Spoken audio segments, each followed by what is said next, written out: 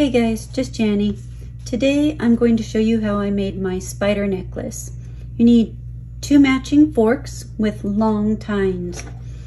Um, and by long, I mean really long, about two inches to get this effect. Uh, this set I have here is maybe an inch and three quarters, so it I have made them. It it's okay, but you they're kind of just little chubby spiders. You don't get these really long legs, that type of effect. So I'm going to be using this set here. And you can see one of them is cut off and flattened because I was using it the other end for another project. So if you have any just fork heads laying around, you can sure use those. You don't have to have the handle on it.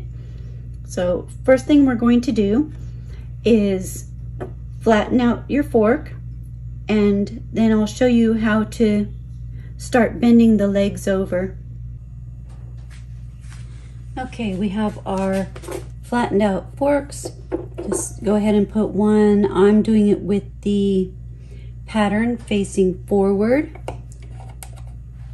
If you haven't watched my videos before, I have a hole in my bench top so the fork goes all the way through.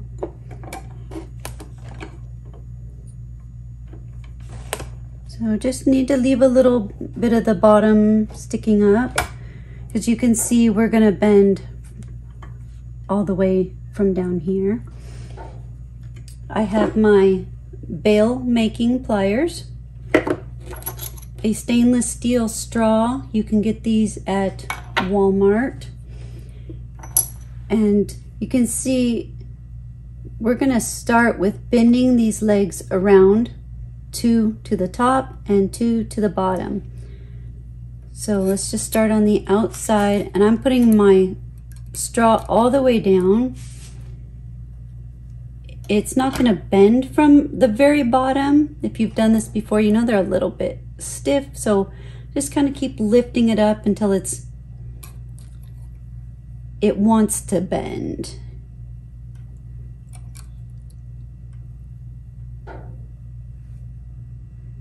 And it's gonna be almost 90 degrees there, so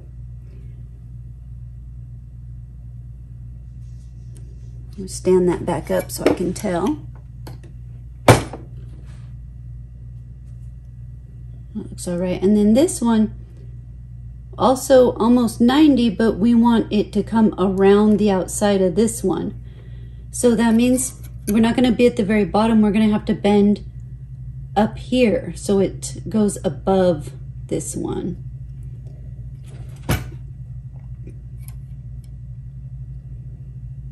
So if you need to, just lift your straw up a little and bend that one over. And then let's do this outside one.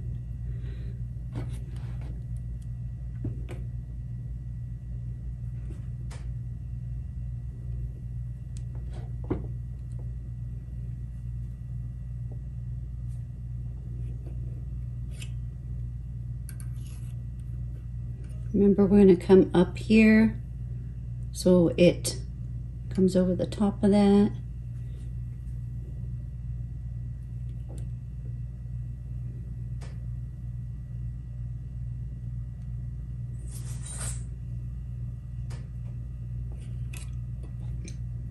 Okay, so that's the first one. And then we're going to bend the other one and they're gonna point the opposite directions. Okay, I brought my necklace and you can see here how the legs bend up and it looks like he has, maybe I should say she because this is my egg sac. She has little feet and I've curled the these two around just so that the chain could go through it and it looks like she's hanging on. So you can see what we're going to do here. So I use my bail making pliers and I think I'll start with this long one let's make the, the front foot first. You can see if I go this way, I've curled it out. And it's just a small tight curl, so I'm gonna have it wrap around the small side here.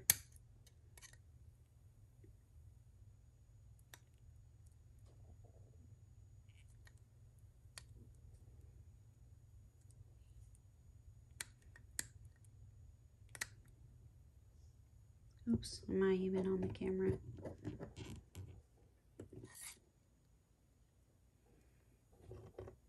My other foot's getting in the way a little bit, so I'm just going to bend this. Just bend it over a little bit so it's out of the way.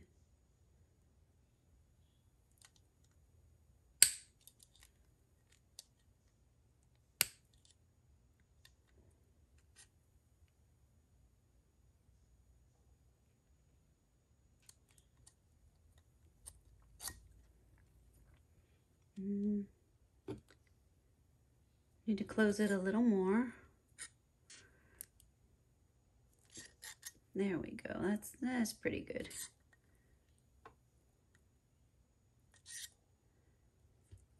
Okay. And then for the middle of her leg, you can see it's a pretty high bend there. Okay, so I was bending this. Um, I'm going to change this here a little. I'm going to put the small side up here where the foot's going to be. And I want this bend in the center, meaning centered between this and the foot. So put the big side about there.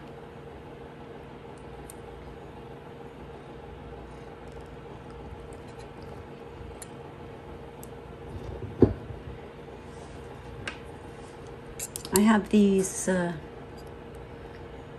I don't even remember what they're for, but just a little flat plier and bend her foot up. But you can see this side isn't lifted up yet, so we still need to do that side. Um, I'm sorry, that is Chica is helping me here.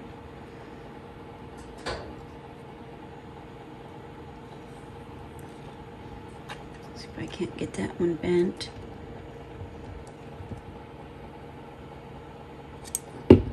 I need to, I'm to move this leg out of the way a little bit. So I'm just to kind of bend that down just a smidgen so I can get my pliers in there. Um, you can actually bend these on your vise instead of taking them off and going to your workbench might be easier that way so you have some leverage. So there we go, we got that part. And then the next leg, it also has the same kind of bend. It's not, um, it's not nearly as pronounced. So first I'm gonna give her a little foot. So I'm just bending a tiny bit up right there. And we'll do the same thing I put the small end by her foot, the bigger end in the middle. Go ahead and give that a bend. It's not as sharp of a bend, so we'll just do a little at a time. Switch sides.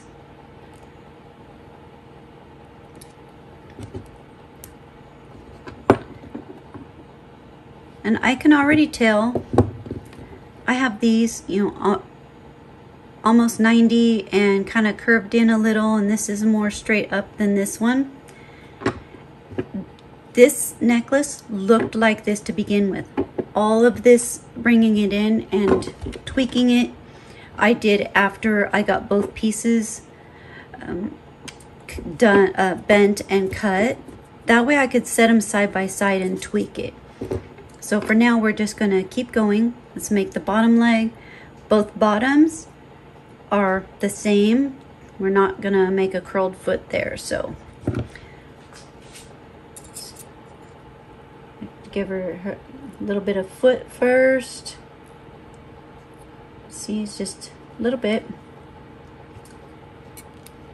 Same as before, put the small end by the foot, put the big side in the middle. Put a little bend, change sides. Put the small side on the other side. There we go. And this one, it's a little bit more pronounced on this leg. See, I already gave her a foot, so let's put that about in the middle.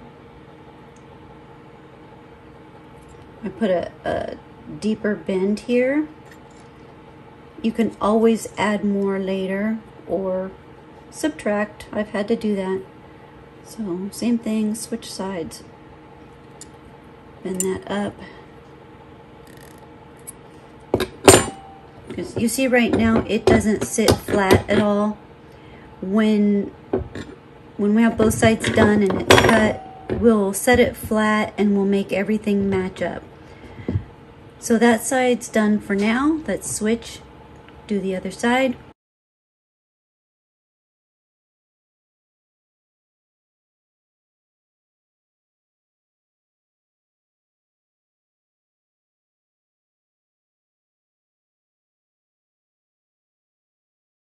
Okay, we have both sides pretty much similar.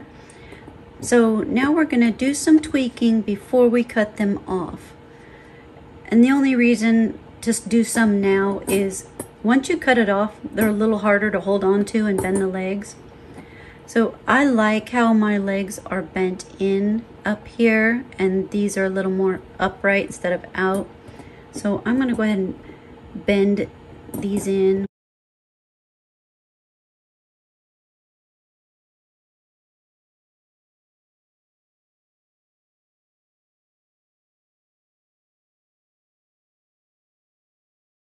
Flatten this one out a little bit.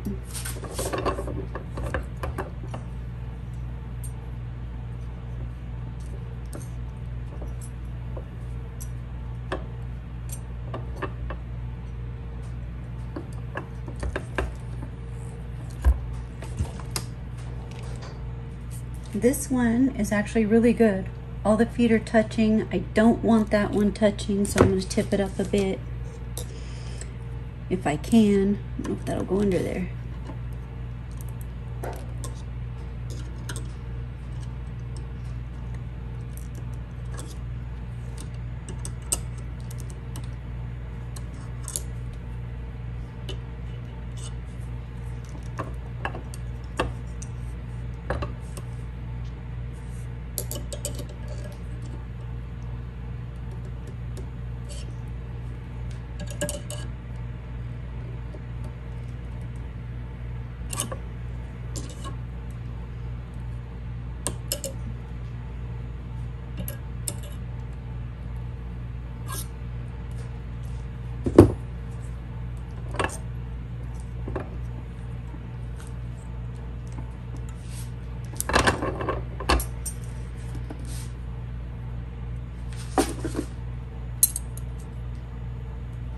So right now, I'm kind of liking where everything's at. It's pretty good. I might want to bring this leg in closer, but otherwise it's pretty good. So let me show you how I mark it to drill the holes.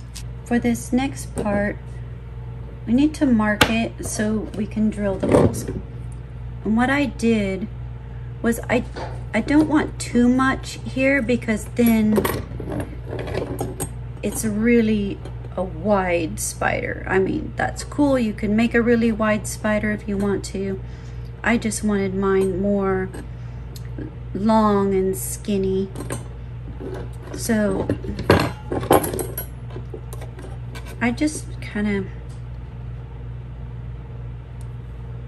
guesstimated. it doesn't matter uh, how much. I just picked a, a line and I went wider than I wanted. I'm going to end up right about the four, but I went wider because sometimes when you cut it, it doesn't cut straight and then you have to grind it and you're gonna end up with not enough space because when you drill your holes, it's gonna get weak. So I just try to go a little more than what I actually want so that if I don't cut straight or have a problem with it, I have some room to spare. So like I said, I wanted it to end up about on the four, so I kind of went over here.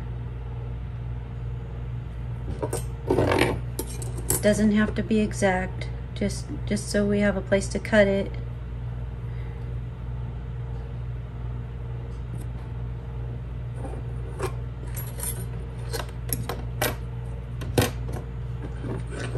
I used my mini bandsaw to cut mine. You can use your hacksaw, whatever you got. Let's go get these cut, grind them smooth, and then we'll come back and show you how I marked them and drilled them.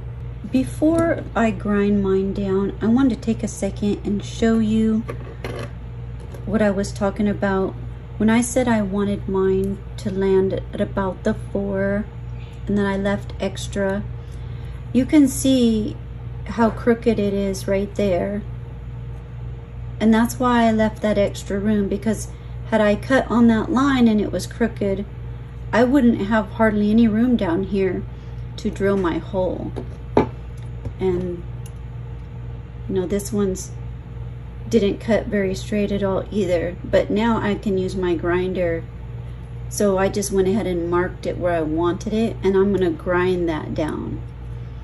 And another thing, talking about tweaking this before we finish it off, this one is perfect. It, it sits flat, it doesn't wobble. This one is still wobbly. All the feet, well I should say the three feet touch the ground. This one I like it raised up because it leaves room for the chain. So I'm going to tweak this side a little more it should sit flat so I need to bring this leg down this leg down this leg up so I'll do some tweaking on mine and grind this down and then I'll come back and mark the holes and drill them and show you how I put it together.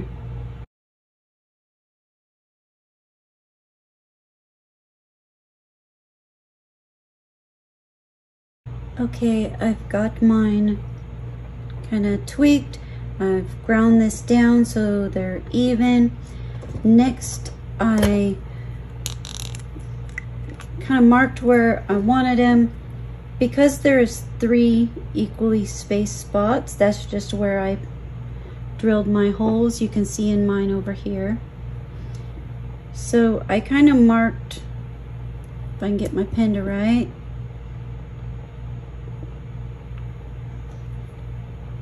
Okay, or not. There we go. Just those three spots.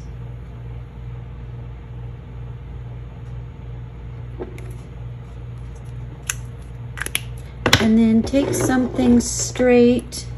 If you have a center punch, go ahead and use that I used my little metal ruler here just to keep it straight. Let me, you can see my dot is too close to this hole. I don't actually want to drill it there because then uh, my leg will probably fall off. So I'm just trying to kind of see what's best and use the center punch to mark it.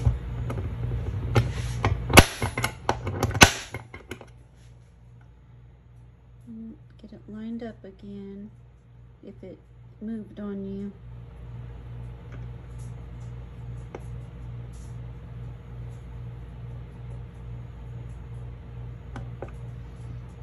I feel like this one is also too close to that hole.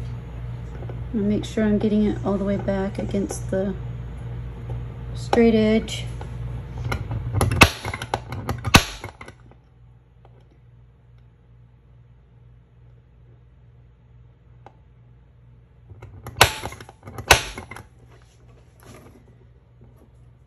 So that way when you drill, your bit's not gonna wobble all over. It'll start in that hole.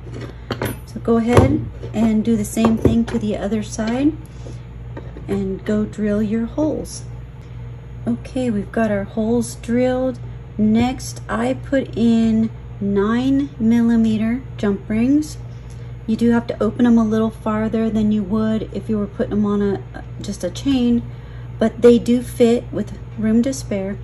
So nine millimeters, and then I just put my chain through and added this like you would a charm. Just put this on, bead I found on a jump ring and put it in the middle because I wanted her to look like she had an egg sac. So that's it. I'll let you finish up. Uh, polish it or tumble it before you put in your jump rings. That way they don't uh, come off or get broken. So polish it up, jump rings, put on your chain, add a bead if you like, and like I said, you can continue tweaking until you get it the way you want it. If you haven't already, please like and subscribe for more tutorials like this one. Thanks for watching.